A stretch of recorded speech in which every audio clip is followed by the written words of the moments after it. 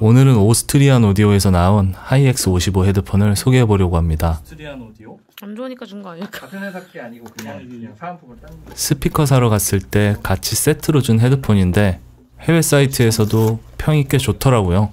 나 여기서 이 distributor 시작한 지 얼마 안 돼가지고 이거 회사 밀려고 아, 외부 회사는 인지도 있어? 어, 선, 어, 선이 되게. 고급스럽게 잘 나오네. 맞아. 그다음에 오스트리안 오디오는 써? AKG 회사 스탭들이 나와서 2017년 설립한 거라고 하더라고요. 선 이렇게 끝. 윤종신 씨 마이크로 유명한 오스트리안 오디오 헤드폰. 한번 동료들과 함께 들어보겠습니다. 그거 마스터먼이 있나? 이거 뭐 에랄 없냐? 그거 있어. 그거 왼쪽이지 항상 잭 달려 있는 게 왼쪽 아니야? 그 헤드폰 안에 봐봐. 안에 보면은 그게 써 있어. 아, 맞네. 일단 뭔가 이렇게 딱 그, 딱 막아주는 그런 느낌은 좋다. 음. 이렇게 딱. 그게 메모리 폼이래. 음, 귀는 편한 것 같아.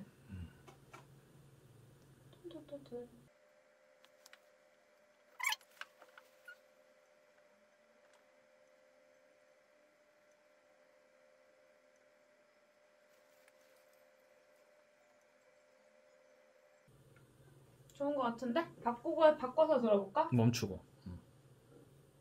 얘가 이제 뭐지? 음들이 더 분리돼서 들린다.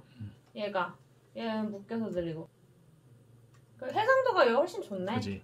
이건 내 생각에 약간 감상용? 이건 좀 감상용이고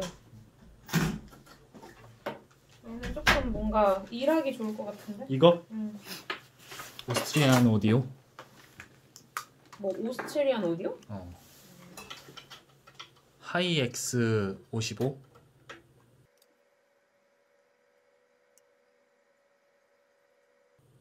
그러니까 막 이런 뒤에 패드 같은 거 나오는 것도 얘는 이제 다 흩어, 흩어져서 나오는데 얘는 되게 선명하게 나오네.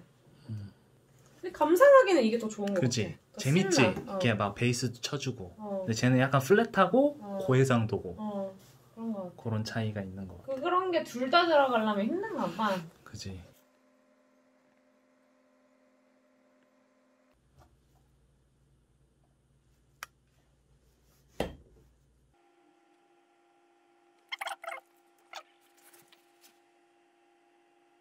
얘는 중저가 약간 이렇게 부원 느낌이고 얘는 좀 뭐라 해야 되지?